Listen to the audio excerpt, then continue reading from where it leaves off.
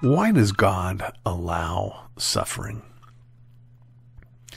It's a common question, usually not asked in a dispassionate way, but usually asked in the midst of some sort of suffering and agony. It's hard enough to go through this kind of hardship, but how much more so when we don't understand what in the world God could have in mind. That's one of the reasons why so many people push for this notion that God has nothing to do with our suffering, that God wouldn't send suffering to anyone. And such a notion is uh, wildly unbiblical and absolutely irrational the Bible itself. In fact, in Isaiah 45, the God of heaven and earth boasts that he sends hardship. And the idea that the creator of all things could not be able to stop hardship, that there could be something stronger that whose will could uh, impose itself over the, its maker is ridiculous. We have to acknowledge that God is sovereign over all things, including our suffering, and there actually is a perfectly clear and reasonable explanation for why He would allow it. There's actually a number of reasons. One of those reasons begins, and it's important to remember this. This is uh, akin to the language of the scripture on the issue, but we'll, we'll connect them in just a second. One, it happens because we're guilty. When we start asking questions about human suffering, we need to forget this ridiculous notion that bad things happen to good people. That only happened once, friends. And that's because the good person volunteered for it. That's Jesus. The rest of us stand guilty. The rest of us are guilty of sin against the living God, and the punishment for sin is death, eternal death. That's what we're owed. So first, there's nothing unjust in God in allowing suffering in our lives or even sending suffering into our lives.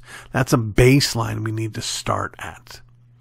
Secondly, and this is how it relates, the scripture uses the language of the ridiculousness of pottery complaining to the clay. We need to begin by acknowledging that we're sinners and we need to begin by acknowledging God doesn't have to answer us.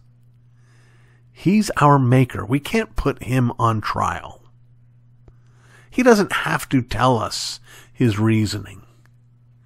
We don't even have the right to assume that we could begin to understand it. He is the potter and we are the clay.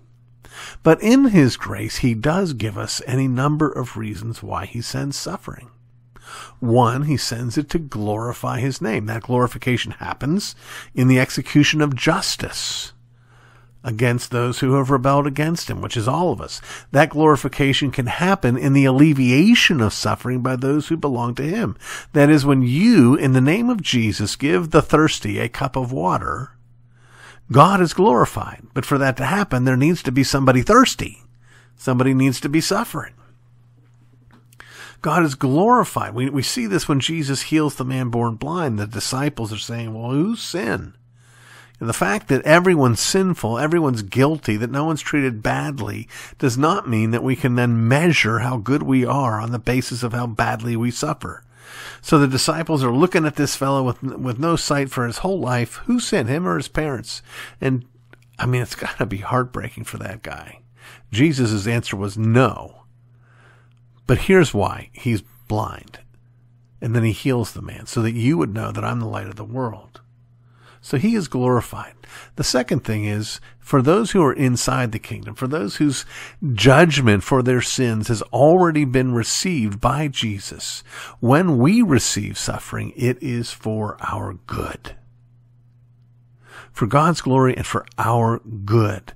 Paul had a thorn in his side. I'm persuaded it was kidney stones. And he cried out to God, please deliver me from this. It's so agonizing. That's why I think it's kidney stones. It's so awful. It's so terrible. It's so painful. And God says, you know what? I'm going to leave it there. And the reason I'm going to leave it there is because it will help you remember your dependence upon me. It was a blessing for Paul to have that hardship. And whatever hardships he leads you into when he walks with you through the valley of the shadow of death are for your good.